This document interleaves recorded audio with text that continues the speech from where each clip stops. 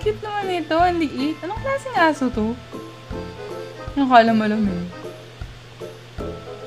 Ang cute to.